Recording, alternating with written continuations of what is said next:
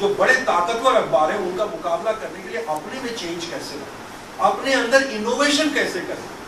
और मुझे ये लगता है कि आपके अखबार बहुत अच्छे निकल रहे हैं, पर उसमें अभी इनोवेशन की बहुत गुंजाइश है। उसमें बदलाव की बहुत गुंजाइश है। कोई भी चीज़ जहाँ इनोवेशन रुक जाता है, जहाँ चेंज रुक जाता है, वो सर्वाइव नहीं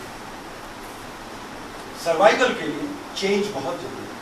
आपको जो बदलती हुई परिस्थितियाँ हैं, बदलता हुआ एटमॉस्फेयर है, बदलता हुआ जो लोगों का टेस्ट और एटीट्यूड है, उसके अकॉर्डिंग आपको न्यूज़ पेपर्स को भी चेंज करना चाहिए। और न्यूज़ पेपर्स के बारे में तो ये कहा जाता है, हम जर्नलिस्ट लोगों के बारे में ये कहा जाता है कि हमारा लोगों के पल्स पर हाथ रहता है, जनता की नब्ज पर हम हाथ रखते हैं। तो अगर जनता की नब्ज पर हमारा हाथ है तो जनता क्या सोच रही है?